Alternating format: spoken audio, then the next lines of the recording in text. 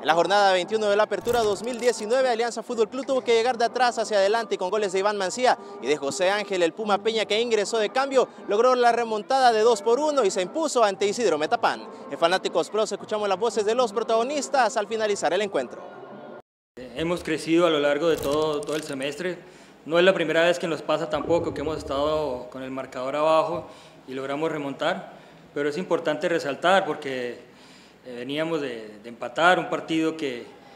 si bien no fue malo, tampoco fue como nosotros queríamos el partido pasado. Creo que en este eh, tuvimos mayor claridad, mayor profundidad, mayor llegada y al final creo que con todo lo que hicimos tenía que darse el, triunfo para nosotros. Para mí el mejor jugador de ella fue el portero, tuvo una gran también actuación ahora, eh, no solo fue que nosotros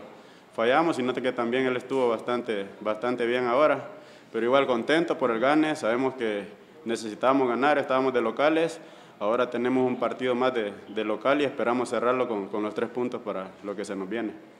Sabemos que la desesperación de, eh, física que teníamos, habíamos corrido eh, casi todo el partido, eh, luego iba a pasar factura porque sabíamos que, que, al final la Alianza se nos iba a venir encima. Tratamos de aguantar hasta donde pudimos, pero lastimosamente las cosas no, no se nos dieron. Ahora difícil lo, que pasa, eh, difícilmente podamos aspirar a, meternos entre, entre los seis, así que creo que ahora,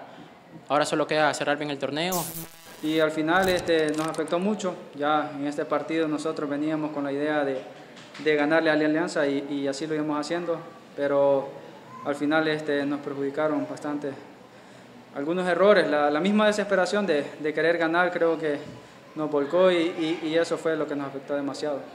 De esa forma el conjunto paquidermo rompe una racha de dos partidos con empates a cero y prepara el duelo de la última jornada de fase regular en el que recibirá en este escenario deportivo al vencedor de Santa Elena. Desde el Monumental Estadio Cuscatlán y con imágenes de Joaquín Lemus informó para Fanáticos Plus Milton Aparicio.